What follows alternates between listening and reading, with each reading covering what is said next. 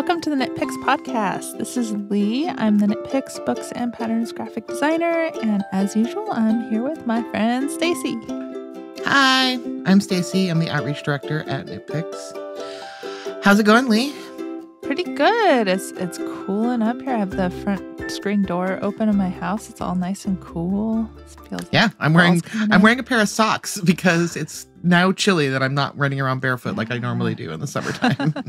I'm wearing a flannel t-shirt and a transition weather clothes. Transition weather, my favorite. yeah. So, what have you been up to when it comes to Oh. knitting? Oh my gosh, so much. Well, I took a trip, which I had talked about last time, uh, kind of packing for it, and so now it it has been taken the trip. and so I started two new projects. I ended up not doing a ton of trip knitting actually because it just we were like kind of just doing stuff all the time. There wasn't a lot of like sitting and knitting time, but I knit on the plane both ways and in the car. Uh, we kind of we went to um, Des Moines and then we drove to Chicago, and so there's some car knitting. So I have two different projects I started. Um, I started a cardigan with swish pops, which is Yay. a very colorful cardigan. It's the um, cropped cardi pattern by Norah Gaughan, which is from a book of hers that I checked out from the library. Shout out to your local library. It's a great place for Yay, books. libraries. and um, it is not designed for super multicolored yarn. um, I'm doing it anyway. I'm shocked. very Shocked, fun. I tell you. I'll try. I'll get some uh, process photos up, and we'll link those in the show notes so you can see how it's looking. It's a it's a very textured twisted stitch pattern, so it's all pretty busy, but I like it. That's I'm, you. I'm doing starting with the back, and the back isn't really pooling because it's too wide. But I'm hoping the front cardigan panels um, have some fun pooling that happens with the swish pops. So there's going to be like the textured pattern and the pool pattern. That's what I'm going for. Um, nice. yeah, that's that's fun. And then I'm working on some socks, which, as usual, I'm holding fingering weight yarn held double for more of a DK worsted kind of weight. I'm knitting the worsted socks pattern, which was recently not. I guess it wasn't that recently in, in our uh, WotA classics or WotA basics. Or, sorry, I have to double check. WotA classics, simple knits in wool of the Andes. WotA is wool of the Andes. Worsted book that was kind of a um, redos of a lot of our old classic patterns. Um, and it had a, this real simple worsted socks pattern. Yeah. And I'm using that and I'm kind of modifying it a little because fingering held double is a little bit more like a DK kind of. So I, I kind of did the math to figure out the right stitch counts and stuff for my gauge. And I'm holding a a fingering weight yarn from my stash, which is not an Epix yarn, which is a um, it's a self striping yarn, held double with uh, Stroll Glimmer. Is that it? It's a yarn that doesn't exist anymore. It's a That's well, we have it in Bare. Yeah, we do have it in Bare, and I'm I'm using the white, so it's pretty close to Bare. So if you want to get that effect, you can still get the Bare. Um, yeah, so it has a little bit of sparkliness in it with the self striping marled, and I I did like a a hack kind of thing, which I like figured out through trial and error, which I will share with uh, fellow yarn held double lovers out there. so instead of just holding the two yarns and le- letting them kind of twist around each other as as they do when you hold two yarns together, I'm um so I first of all I'm a thrower. So I think you can do the same thing if you're a picker in continental versus English. So I hold both yarns in my right hand. I'm wrapping one yarn around my index finger and the other ra- yarn around my uh, ring or middle finger.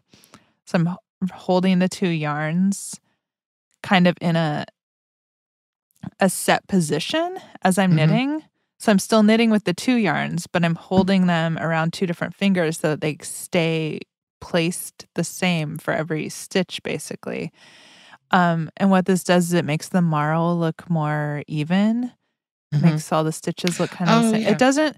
I what what I was going for was actually like trying to hold it so that the colored yarn was like on in front all the time. Mhm. And what it does is more like it, it makes it so you can kind of see both colors in every stitch, as opposed to when they're like when the yarns are twisting around each other a lot. There's like some stitches are the one color and some stitches are Mhm. the other color. and I like how it's looking at the the even marl. It looks really nice. So um, I would recommend and and how you do it exactly, which yarn is in which finger is going to depend on how you knit and how it's looking. So I'd definitely recommend if you're doing a marl project to just play around with that idea of like holding the two yarns on two different fingers, um, because you can kind of like affect how it's looking in the fabric. It's pretty cool. I remember when you uh when you brought that in and were showing me it um at the office, you were saying that your hand was beginning to hurt from it. yeah, I kind of spent a weekend, uh, two weekends ago. I got really into like all the trial and error and trying it held in different ways, and I was like doing a lot of knitting with the yarn held on different fingers, and um, Monday, my hand started hurting a little bit, and then it kind of hurt like Tuesday, Wednesday, and then uh, on Thursday it stopped. So I was like, okay, good. I didn't do any permanent damage. Yeah, it was just. I mean, I don't But, think it was uh, you were injuring yourself, not to scare anyone away from Well, I this was, I was a little bit, but it was just- for a second there. yeah. Oh, but I it was probably that's, just getting um, used to. Go ahead. Yeah. No, it was it was a weirder way of knitting, and I, Mhm. those of us who are knitters and also graphic designers have this fear, this like existential dread kind of fear of like, what if something happened to my hand? I, what would I do if something happened to my hand? So every time I have like a weird hand pain, I'm always like, don't do anything all day and uh, let it heal. And, oh, I get all scared, but uh, it was fine. but do Yeah. definitely if you're knit, and this goes for and if you're you know learning a different way of knitting and your hands are your muscles are doing a thing that they don't usually do. Be careful, do stretches, don't don't push yourself too hard. Stay safe. yeah. That is good advice for everybody when it comes Yes. to knitting. Yes. Because I know For sometimes my hands will hurt. That's actually why, um, just as a side note, it's why I have a problem with um, metal needles uh, because I think just the way I push on them, um, even if it's just it's not hard enough to like break a wood needle or whatever, but it's enough where it it makes my hands kind of cramp. That's why I still I just use wood needles. Um, when I've tried using metal needles, I just I don't like the feel. So that's just me. Yeah. But- Yeah, But you Yeah, find your favorites and then you continue on. So for sure. I have no knitting to share really because everything I've been knitting in the past few weeks has been uh, stuff I can't talk about yet because it's Hmm. for a new yarn or a new pattern that won't be released for a while because all of my jobs, I think all of my job is like looking into the future. so I'm never in the now. So, but just to let you know, we've got some great stuff coming up and you'll get Yeah. to see it. and I'm sure I will definitely talk about, um, especially the two main projects. One's a pair of socks, and one is a hat. Um, I'm sure I will definitely be talking about them on the on the uh, podcast. And in fact, knowing these, I will definitely be talking about both of these projects because I love them. Mhm. So, Yeah. Anyway, well, I'm glad you're so- living them, even though we can't hear about them yet. I know. I want. I re- and the thing is, is like, um, I just, I don't know. It's, I'm getting back into doing more knitting, but I kind of was stopping for a while, and um, I really wanted to finish my Ventasica, and you'll see this coming up in a photo shoot. We actually took my Ventasica for, um, for a prop in a big photo shoot, and you'll see these photos soon. But if you see a Ventasica laying on like a blocking mat or whatever, that's mine. And after doing that, I'm like, I really want to finish the sweater because I've been working on it for so long and I really love it. But I just keep getting these other projects that I'm like, I know I need to finish this one right now. And then, yeah. So I love it still. Nothing Yeah. on the pattern, just uh, other things keep coming up. So, It, it happens. I, yeah. I have so many things on the needles set aside. Yeah, because I also took a, a quick break. While, in fact, while, it wasn't planned, but we had vacation the same week, which everyone at work was delighted by the fact that both of us were out of the office at the same time. And um, I did do a little bit of knitting on then, but I was doing some sewing. And actually, I was inspired by uh, one of your sewing projects of a hat and Oh, a big sun hat. And I was very excited. And I used it while I was doing some yard work just to keep the sun off my face. So Yeah, it was so very fun. So that was one of my projects that week. I had a lot of stuff going on, but Fun. uh yeah. Anyway. But I think right now we something to keep me even more distracted from my Ventasica is um, we are announcing a new knit along. Yay, Yay. for knit alongs! Um, I'm partaking in this one. Lee is not, so we're gonna grab Andi, who is the mastermind behind all of our knit alongs, and uh, she's gonna join us to chat about the knit along. Hi, Andi. Hello she's always here listening, but yes. she actually gets to talk there. Lurking so. in the background normally. so for this knit along, we have decided to go with a garment and we kind of went with like an easier project. I think that's why we decided on it. Um, so it's good for beginners, good for your first sweater. Yeah. Should we reveal the pattern?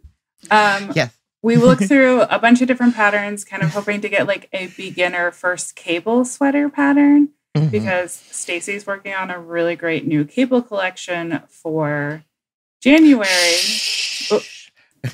no, it's it, we always do a cable collection, but it's a really nice cable collection. It's a very nice cable collection. So we wanted to do a uh, beginner-friendly first cable sweater pattern for our knit along to sort of get people ready for more complex cables, and Axiom was the perfect choice.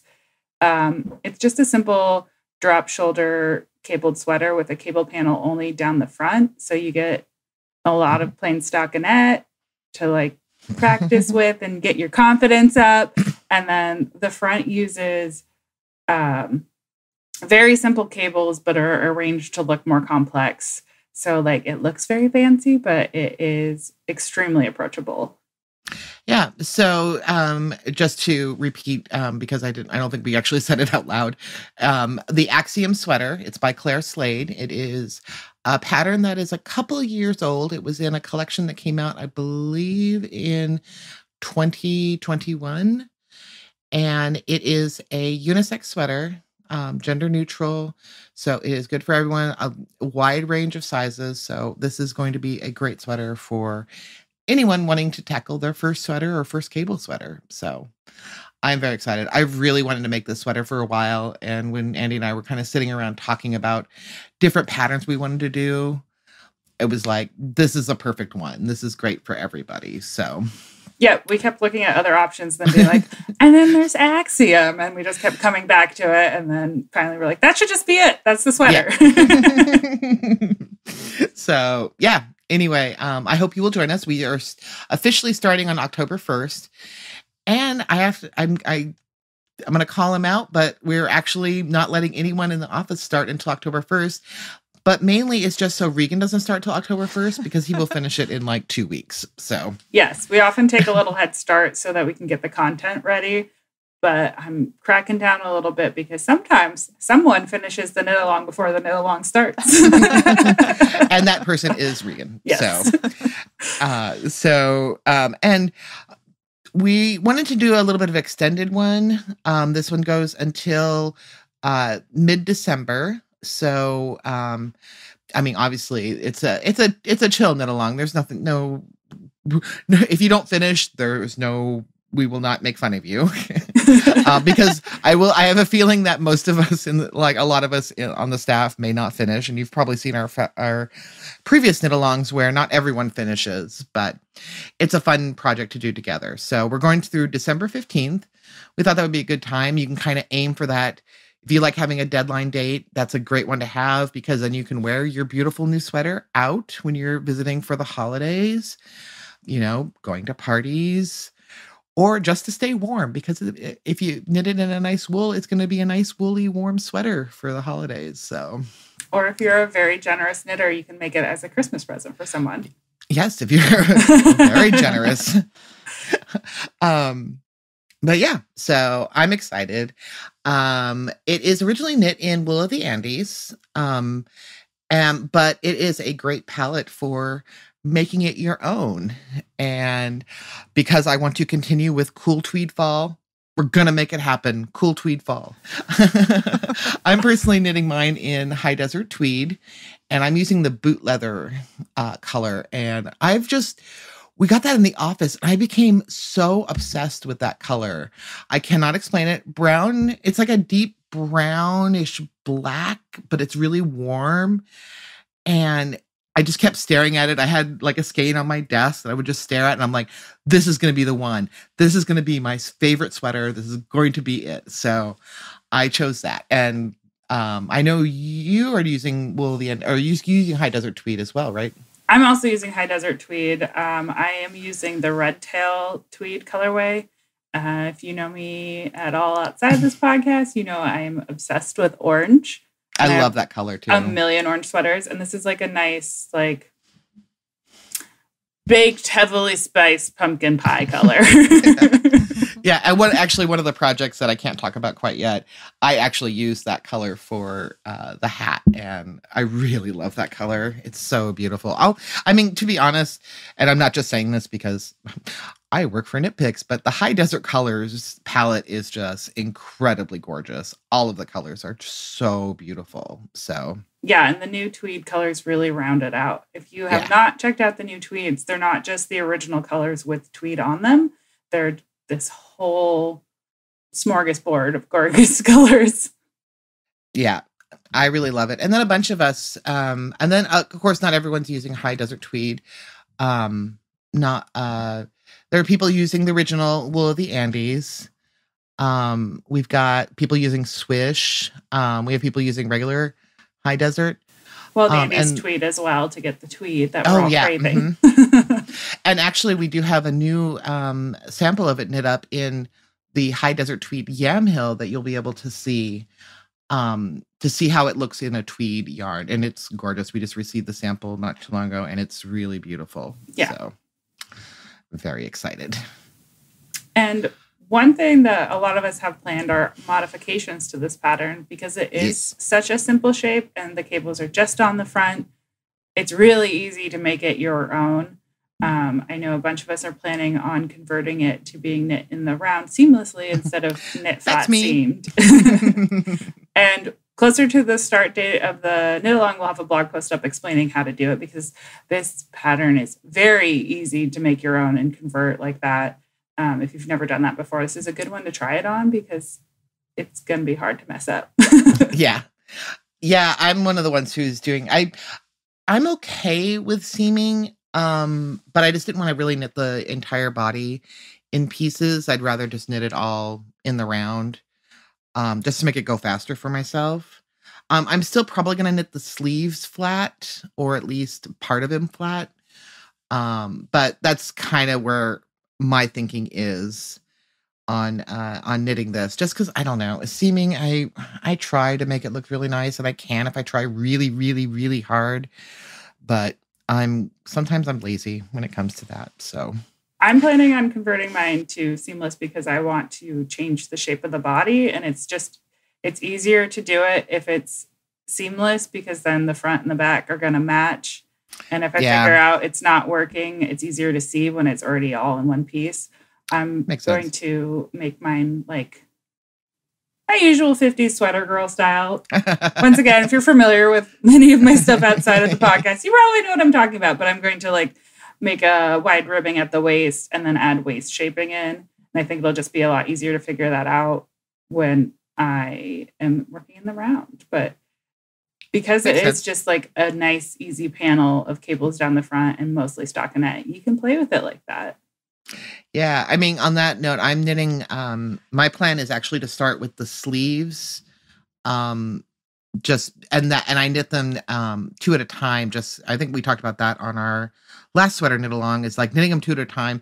That way, um, they are they match. if I forget a decrease in one row and do it in the next, it'll be the same on the other side, and it won't look weird. And they'll be the same length, which is also a problem I have sometimes. yeah, I'm very excited. I'm so, so excited. And to spoil some surprises, some of our other coworkers also have interesting modifications. Like um, one of our coworkers is planning on turning it into a cardigan because the cable panels are just mirrored. It's very oh, easy cool. to like split it the front panel and only knit half of it at a time, and suddenly you have a cardigan. Oh, I didn't even know about that modification. Wow, cool. that's gonna be fun. I can't yeah. wait to see that. And uh, because it's knit flat, you can do fun things with colors. And another coworker is thinking about doing a two tone situation with the panel of cables in a different color just by working intarsia. Ooh. Ooh. Oh, I had no. Cool. I knew about the two colors, but I didn't know that was what um, this this employee's plan was to do. Yes. So I don't want to like name names in case they decide that they don't actually want to do it. And people are like, where where's the promised sweater? because we're still in the early phase. No one's no one has their yarn in front of them yet, but um, except for Stacey. I have mine. Stacey's been I- good in using stash yarn. The rest of us are like, I would like new yarn, please. Yeah. Um, I just made sure I got the, enough of that yarn. I was gonna. Knit, I knew I wanted to knit a sweater with it, and then when we announced the um, the knit along, I'm like, well, that's the sweater I'm gonna knit in it. So I'm just excited. yeah. I really love that color. It might not be. It's. I can't wait to show it to more because I think it's hard to see like on the website of what a gorgeous color that is. So Yeah, it's hopefully my sweater will show. one of those complex shades that like it's hard to photograph how complex it is because the lighting you're under just changes the way it looks. It's a gorgeous Mhm. yarn. Yeah. Cool, cool. Well, we hope you will join us. Um, again, we are beginning October 1st, and we will have links to the pattern and to all the information that will be coming soon. Yeah, we'll link to things in the show notes. So look on your podcast app or the blog post. The blog post always has all the links to everything we talk about in the podcast. yeah, if you ever if you're ever looking for something that we um, talk about on the podcast, just check the notes on the blog because uh, we we do go through and link every single thing that we talk about. We Lee does to. that. So if, if something is missing a link, it's because it like didn't exist, and I tried to find like we try to link to every single thing we talk about. And you Yeah. can find the blog at blog.knitpicks.com. That's also where we'll have more details about the knit along and all of the supporting content, like the blog post on converting it to seamless. Yay. Thanks, Andi. Now, coming up, we are going to be chatting with one of my favorite humans. Um, his name is Zeb Welter. He is from Disco Fibers, and that is a Yarn thrift store. Two of my favorite things in the world, yarn and thrift stores. yeah, not not to be confused with actual recycled yarn, which is a different thing, which uh, there's a store here in Portland that sells recycled yarn, which is awesome. But that that is not what this is. This is a yarn thrift store, which takes yarn that was sitting in people's stashes not doing anything and gets it out to people who do something with it. Pretty awesome. So you'll you'll hear more in the Yeah. I was like, yeah, Zeb is, a, I hope you listen. Zeb is a wonderful person to listen to and talk to. So it was a very fun interview. So check it out.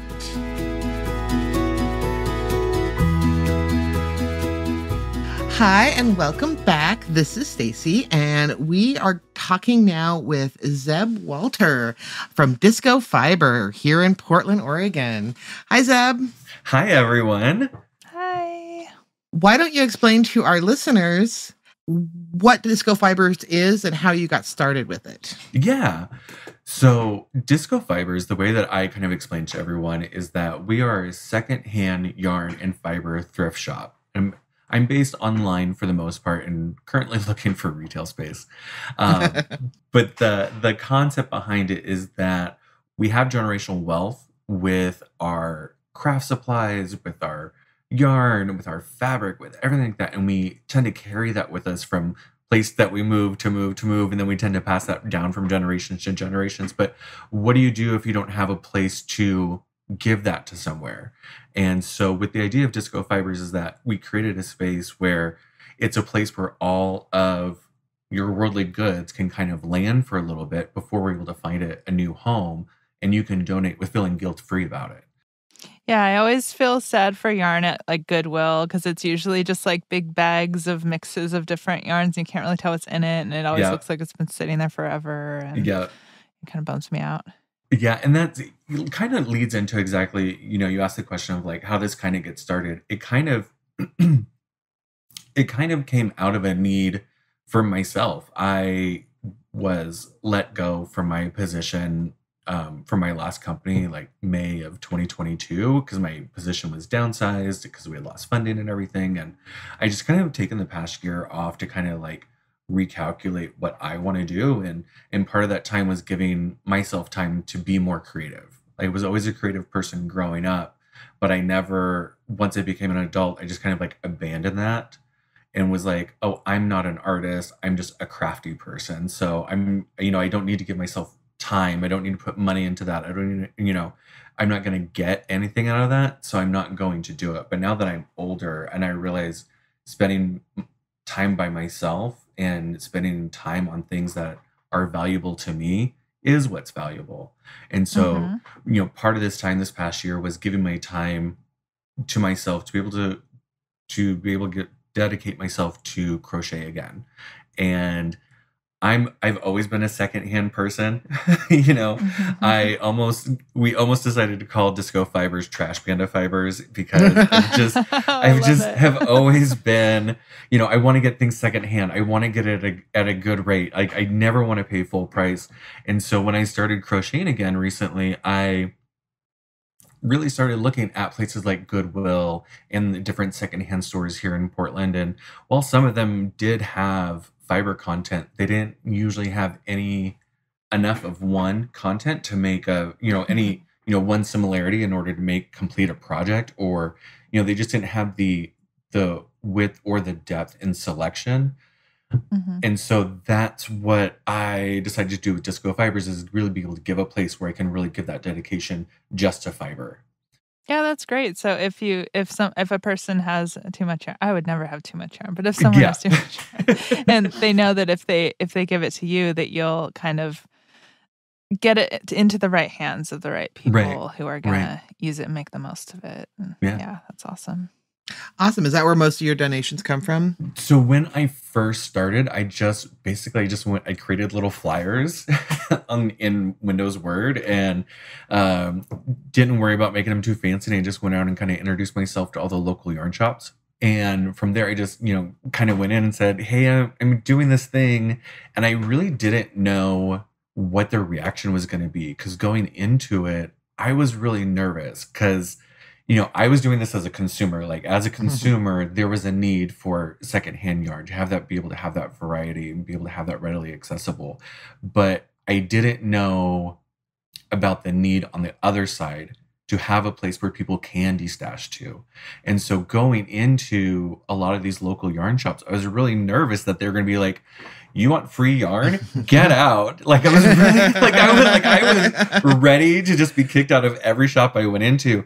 And I was just so caught off guard by I would go into a shop and people would be like, Yes, absolutely. Give me your flyers. Like before I could even finish talking, like they would start asking me more questions and, you know, give me your website, give me your information. You know, I have stuff in the back I can give you right now. And some of these shops have just been my biggest advocates and they are constantly like hey we're going to do an event on this day. Can you come over? Um, can you come over and we just had a big drop off can you come and pick up on on this day for us? And it it really has been so satisfying and i think that has been the most encouraging part is everyone in the shops who has been so absolutely positive to work with.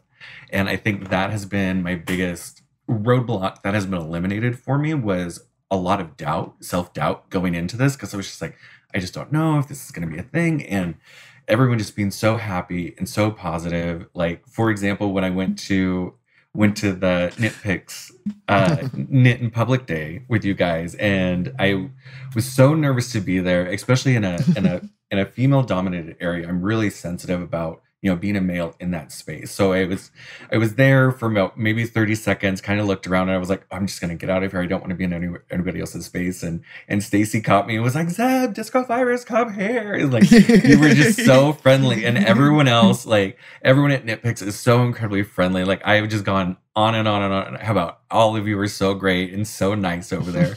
And that really has been so much full of the community. Like everywhere i go everyone was so nice and so inviting because we all know people who need to destash for one reason or another whether they're moving or they have a store that's closing or you know they're helping helping you know settle an estate. Whatever it is we always have you know a reason to every so often just destash and spring clean and get rid of stuff and knowing that where we're sending it is going to be to you know a good awesome place where other people are going to be able to enjoy it and you're not going to feel guilty about donating. Like I'm I'm very big about like I don't you know, when I go to spring clean my own stuff, like I don't want to go through and waste my time selling it. I just want to donate it somewhere that I know is going to be able to, you know, make good use of it. And uh so to be able to be the opposite side of that is just has been such an amazing journey with everyone. Yeah, it was funny because when I saw you, I, I saw you through your Instagram first, and I'm Mhm. like, oh, what's this? And then I, I remember sending a message to Lee, and I'm like, Lee, check this out. It's a thrift yarn store. so, That's why I, we like, recognized you immediately as- followed you. Yeah. and then that's why we, um, when you showed up at the Knit in Public Day, we were so excited to mm-hmm. to meet you, and I'm glad we've gotten to be able to have you in the office and like give you some of our D stash stuff too, because we do all of us. I mean, all of us at Knit Picks and we crochet have a lot of yarn that we love, but we don't necessarily feel like we're going to use it. So Yeah. we may as well make it have it go to some place where someone else can love it and make something with it. So Yeah. It's very common that when I go into one of the one of these local yarn stores, because I never go in like I never let them know ahead of time. I just kind of pop in, just drop off flyers, because otherwise I lose my nerve. And so I just go in and I'm like, "Hi, this is who I am." Blah blah blah. Give them my flyers, and usually the same day or the next day, I usually get a call from that shop. They're like, "Okay, all the employees got together, and we have a bunch of stuff to give you guys." so so it, it almost happens like at every store I go to. So that that again has just been a, a huge encouraging like yes sign that I know that I'm on the right path with all this. So no, that's amazing. And then I mean, and then you know, you put it up on on your website and you have like great deals and you know gently used yarn or gently loved yarn and Mhm. i think it's fantastic and then we were talking when you were in office you were doing whatnot can you explain what that is yeah, thanks so much. i had never heard that. of it yeah. um, whatnot is the technical the technical aspect of it is that it's an online selling platform. And the way Mhm. that I describe it is if you've ever wanted to host your own QVC show, this is the app for you. Uh, you know, as like I'm an only child and like we grew up in the country, so there wasn't a lot of other kids to play with. And like being a QVC host was like my idea of fame. And so I like as a little kid, like loved pretending to be a QVC host. And so like now actually kind of like get to do something like this. It's just like a natural progression for me. Um, especially if so like I've always I've been in sales for like the past 20 years. So this is even better. But what it is is uh, you basically host a little show. I have my I have my video camera up, and I recently got um, you know installed a background and everything like that. But you can either do buy it now options, just like you would on any other website, that you can always have listed twenty four seven in your shop, or you can host live events and do auctions and giveaways, which is what I normally do. And so I actually, as of right now, I'm doing three shows a week: Monday, Wednesday, Friday at 4 p.m. Pacific, 7 Eastern. And so you can come in and I show different yarns and um, we auction them off. And I, you know, different days are different price points. So like Monday we start at like five dollars, and Wednesday's ten, and and Friday's fifteen, and then once a month we're gonna do like like a treasure chest show or something like that, where everything's like twenty dollars and up to start. Um, Which I was kind of I was kind of hesitant about, but my customers on there were like, no, no, no, no, bring us your best stuff. Like they don't care about like the dollar yarn, two dollar yarn. Like they want like the really, really nice stuff. And so it's actually been a nice place to be able to show off some of these like specialty yarns that we get donated, which is really awesome. So in short, like whatnot basically is just a little show where I get to show you different products one by one and we auction them off. I usually have anywhere between, you know, 20 to 40 people like in my live views and it just increases every week and it's so much fun. Like the customers that i have are regulars they come all the time and they get to know each other and they actually talk to each other in the comments and they ask about they're like oh you were working on this shawl like how are you doing on it? And oh you broke your leg like how's your leg doing? And like they actually Oh, it becomes like a it becomes like a fun it, community beyond just like a seller buyer relationship. It, it's a full community and it's um it's really fun. It's still it's just a couple years old, and especially within the arts and handmade, they're looking for new sellers. Um, Mhm. It's not one of their biggest categories right now. They're more bigger on like trading cards and sports memorabilia and like Funko Pops. It's more those collectibles type things. Is Mhm. really what drives whatnot as an app. But there is the arts and handmade section, and you know, I personally, it's it's been a game changer for me. I got on it because of some some other sellers who were also secondhand um, fiber people, and I reluctantly got on there and I was like, sure, like I'll get on here, I'll do this, and immediately, like just to be able to have that connection with your customers and be able to have that interaction, it was such a game changer. It's so much different than me just posting it to my website discofibers.com and just waiting for orders to come in. It's this way i actually get to interact with people and they and i get that feedback of oh you guys are wanting more chunky orange. You guys are wanting more fingering weights for this or you want you know i can immediately get that feedback. By the way tweeds. I've been, I've been getting a lot of tweed requests right now. Awesome. Uh, cool tweed tweet tweet fall. exactly. So it really it really has become a fun um fun environment. So if anybody wants to be a seller check it out. If anybody just wants to be a buyer feel free to go and check it out. Um i've become such a little like lighthouse for them. I, I love the whatnot app. So if anybody has any questions they can always reach out to me. That's amazing because I had never heard of that, and you brought that up when we were talking at the office, and I'm like, that is fascinating, and that is a wonderful way to to sell to you know, especially in this day and age when people buy so much on the internet that you don't have that personal connection with people. So yeah. having something like that um is amazing. I Yeah. i really think that's amazing. And i love that you have like a little community around that and Oh, i think that's great. Because i've been looking at like twitch you know knitters on twitch because that's a very small niche yeah. knitters and crocheters on twitch and they don't have a big following but i do know they have a very loyal following and it sounds Yeah. very similar to whatnot so yeah that's awesome so what do you have planned for the future of disco fibers Oof. Okay, so I everything, everything. um, I just got um someone volunteering to be my first volunteer. They just randomly reached out to me. and were like, uh, "Do you need a volunteer by chance?" I was like, "Yes, yes, I do." So I'm actually think I'm going to be scheduling, I think, like a volunteer day. I'm going to have a couple people come over and kind of help me with some of the stuff that just kind of takes up a lot of my time. that if they could just help me knock out.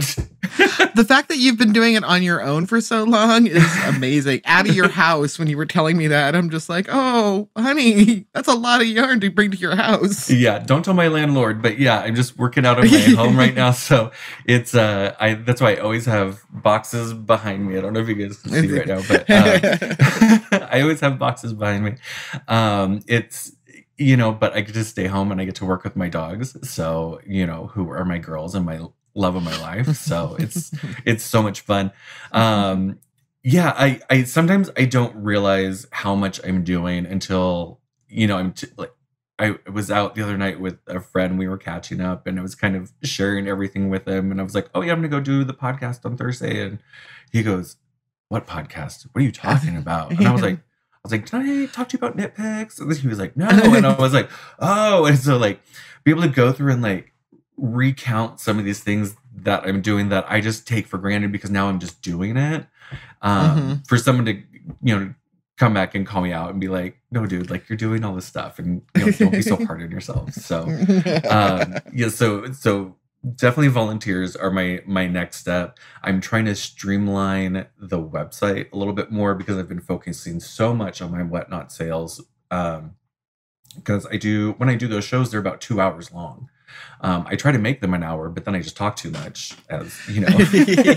surprise, surprise and so my shows always end up being like two hours long uh, and then i have to pack everything and, and so that's why that's been taking a lot of my energy i'm trying to figure out a way to like streamline that and uh, be able to focus more on the website as well and then i want to be able to get into more events right now in like there's a couple of knitting guilds here in the portland area but there's no crochet guilds in all of oregon um so i would love to That's start a cro- fascinating to me too. I would have th- thought there would be. yeah, the closest one is up in I want to say Bellingham, but that may be too far away. But the closest one is up in up in Washington somewhere.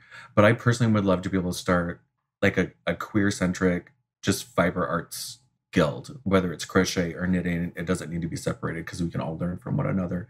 Mhm. And I I think being able to create that because I know so many so many queer members here that knit and crochet, but we all kind of do it separately and there's not a lot of crossover. And so like when we do meet each other at events, it's like, oh hey, we're here too. Yeah. you know. Um, especially like you know, like there's just not a lot of men within the knitting and crochet community as it is. So when we when we see each other, we're like, hi. There's the Uh, unicorn. yep, exactly. um on october oh what day is it going to be? It's the it's going to be the october meeting for the fort vancouver knitting guild. I'll be their speaker there that month so and that's going to be in person. So if anybody wants to come and meet in person feel free to come uh, to that meeting that day. And i'm trying to think what else we have set up. I'm trying to figure out contests. We kind of talked about this before but i want to come up with like maybe like an amigurumi contest or create your create your own granny square uh, square contest, something along that lines. I don't know, but I want to I want to do something like that to get more community involvement, and then of course hopefully a retail space yeah. to be able to do all this stuff. yeah, totally. I can't even like I said, when you told me that you just worked in your in your home, that was just oh, that's a lot. Yeah. I mean, probably as much yarn as as we have laying around our house. Yeah. So we've talked about how much yarn you have piled up in boxes in your house, but we're wondering, um, like, how, once it comes in, what do you do with it? Like, what's the process of like you get a big box of yarn? What happens next? Great question. Because I receive it through so many different avenues, whether it be through, you know, it's been sitting in someone's closet or, you know, it's been in the back of a store somewhere or whatever. Um, whenever it comes in, I kind of separate into a couple different categories. So first I go with, you know, does it have a label and does it look like it's a, a full ball or full skein or a full hank or whatever? If it's labeled, I kind of separate that and I set it to the side. And if it doesn't have a label, that gets go um, into its own box or to its own side. And with the stuff that's not that doesn't have a label that I can't 100% for sure say it's this fiber, it's that thing. And I know that there are different tests that I can go through, but I am one person. And that is that's where I put my my little stop on myself is where um I know if I were to go through and try to sort all of those unlabeled items by fiber type and by, you know, whatever, it would that would be the end of me for sure. Um, yeah, so I just reps for- per inch instead Exactly, like, exactly. want to wind each one around a pencil. Right. Yeah. So with that stuff, I'm organizing it by color, and it's gonna, uh, it's eventually gonna turn into mystery bags that we're gonna do through a website, and eventually, once we have a physical location, then that will be done. That will be sold by weight, and then anything that does have a label with it, I organize that as best I can. I try to find any matches. Like I was going through my Madelinetosh last night and didn't realize I had so many matches of the same one for example, when I received uh, those last boxes from Knit Pick, I went through, pulled everything that had a label on it, tried to organize everything that was like by the same. So like all the um, all the strolls together, all the Andes together, and you know, as best I could. And then if I didn't have same colors, I at least try to put like colorways that would go well together. And I'll tell you, the first night, so the Friday night after I met with you guys, I went through anything that was labeled with Knit Picks. I was able to get organized, and we sold all of it oh. in Oh. two hours or less.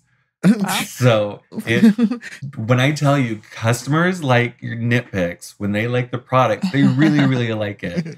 So it's very quickly to be able to get out and get to somebody else so that then they can use it and they can, you know, use it for themselves or use it for a business. And that's been kind of the nice thing is being able to partner with some of the local businesses here, some of the some of the makers here in Portland. I'm able to help supply them as well. So Mhm. they have reduced cost. And that was the whole idea behind this was to be able to ultimately help makers and artists here in Portland.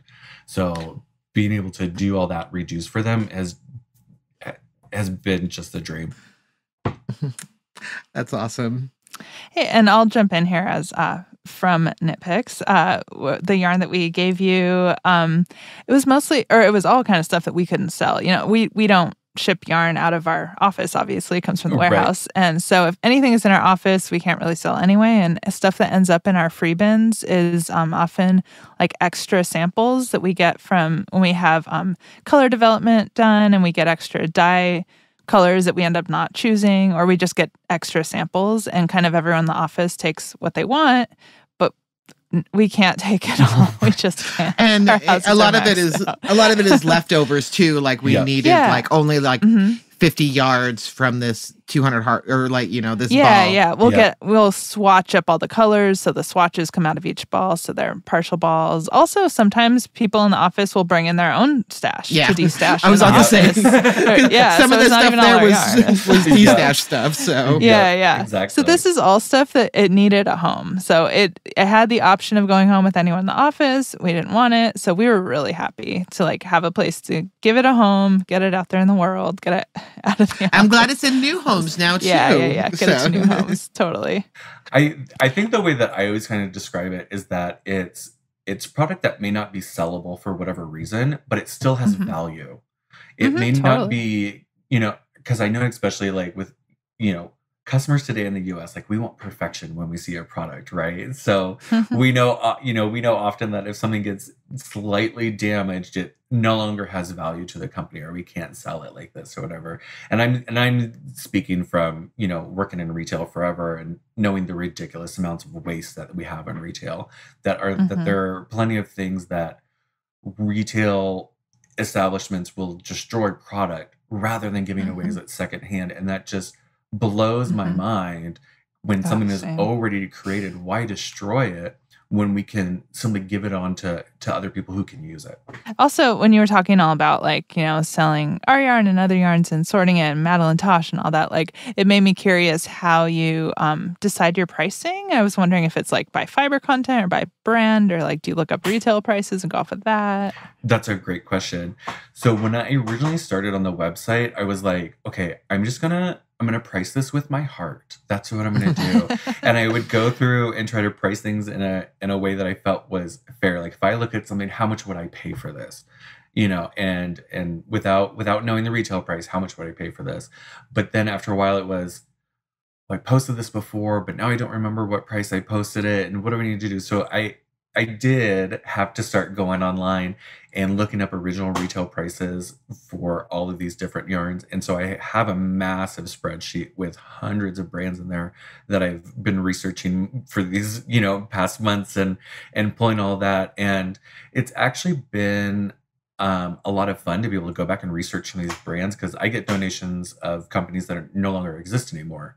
And so to be able to go back and be like, oh, Cloudborn, they had really good product, or you know, Knit Crate worked with really great designers, and you know, to be able to learn about you know what was good in the past helps me understand what are people looking for now. Um, and so as far as pricing goes, I'll be very honest. I'm straight across the board. I the the I have a formula within my spreadsheet, so it's straight across the board for everyone. So it's 40, uh, 45% of the original price. So 55% off of the original price.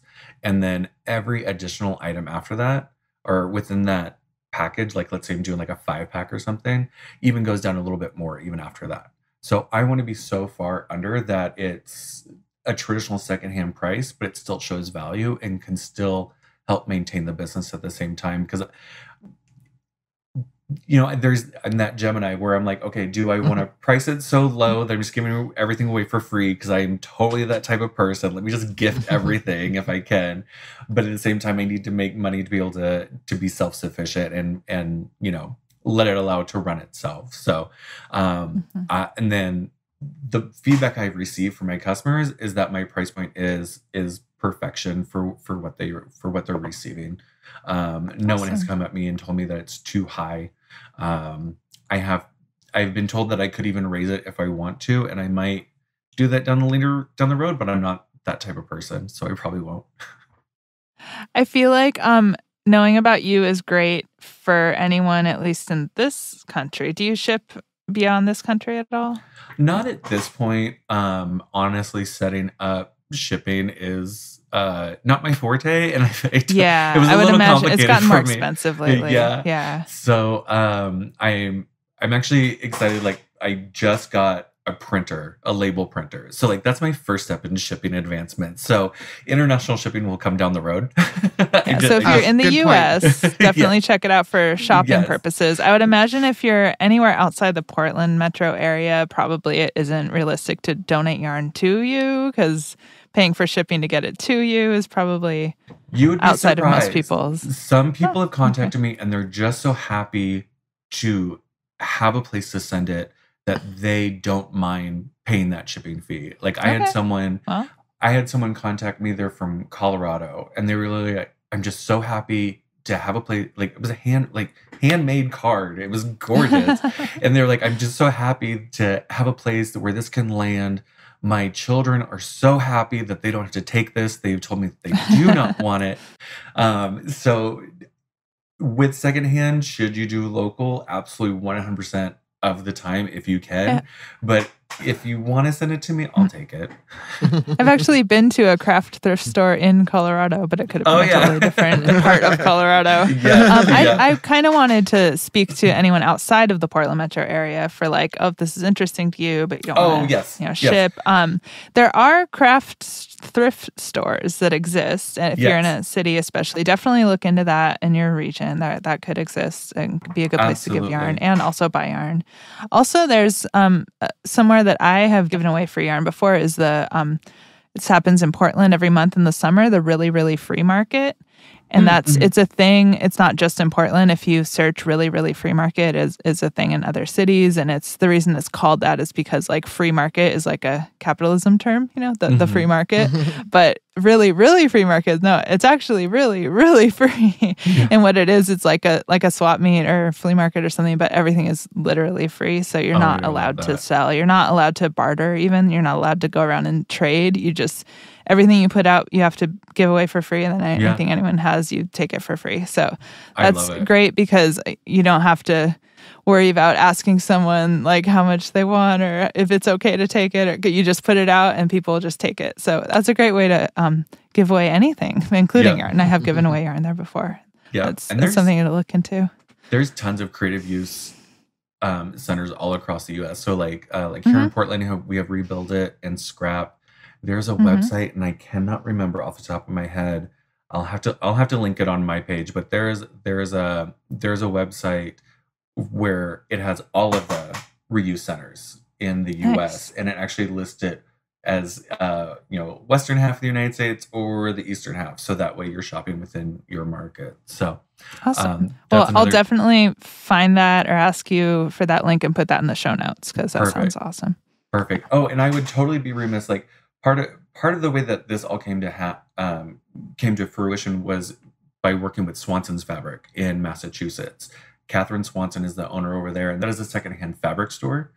And they just recently started carrying yarn, and that kind of what made me go, "Oh, I could do that." Because originally I wanted to do secondhand fabric too, but I was like, I don't have the space for that. When, when she started doing yarn, I was like, "Oh, I can do yarn." And so I reached out to her, and I was like, "Hey, I have this idea."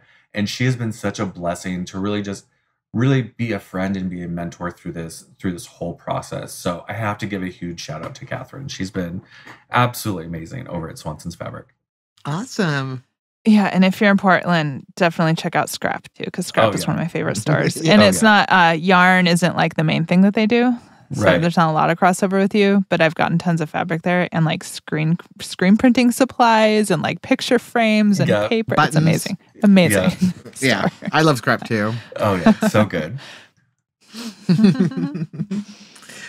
awesome. So I think we're about done here, but let's share with our listeners some of your links. I know you put, you said discofibers.com. yep So where else can people find you on the the web? Yeah, so discofibers.com. And if you go there, you can actually sign up for my newsletter, which I rarely do, but I'm going to start doing on a weekly basis, I promise. Um, you can also find me on Instagram. I'm very active. That's probably where I'm most active at as far as social media goes, and that's just at discofibers.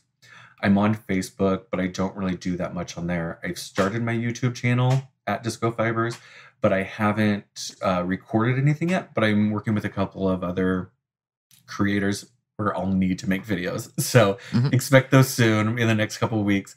Um, and then of course on the Whatnot app, I'm also uh, at Disco Fibers. Cool. And then on your website, you have information on donations Yes. and can shop and all of that good stuff. Absolutely. And, you- cute and Yeah. cute pictures of your doggies. Oh yes. I saw them. My two little My- employees that are not very helpful. Awesome. well, thank you for joining us today, Zeb. And we'll, we'll make sure to put all these links in the show notes. So Yes. check it out. Perfect. Thanks everybody. This podcast was originally created by Kelley Petkun, It is produced and hosted by me, Stacey Winklepleck, and Lee Meredith. produced by Andi Satterlund, with additional production and editing by Chase Ryan.